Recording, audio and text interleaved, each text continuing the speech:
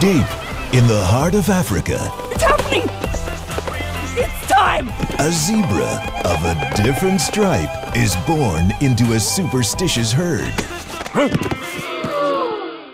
That's not right. What could it mean? It's a bad sign. No stripes, no rain. And when a mysterious drought grips the land, How could one zebra make all the water go away? Half a zebra. he will break away from the herd He left!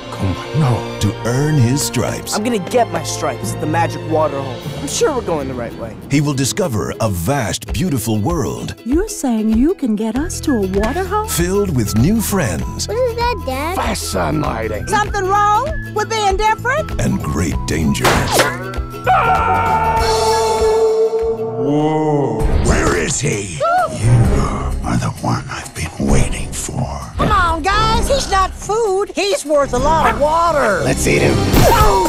Experience the adventure of a lifetime Who's with me? Freedom! on the wildest safari ever.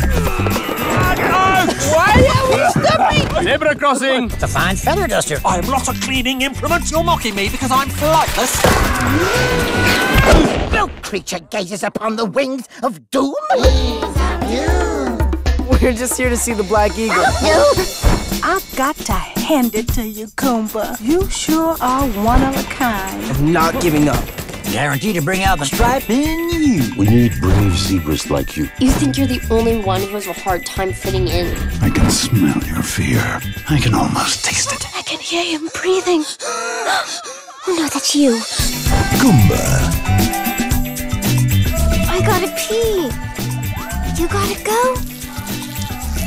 Nope. Not anymore.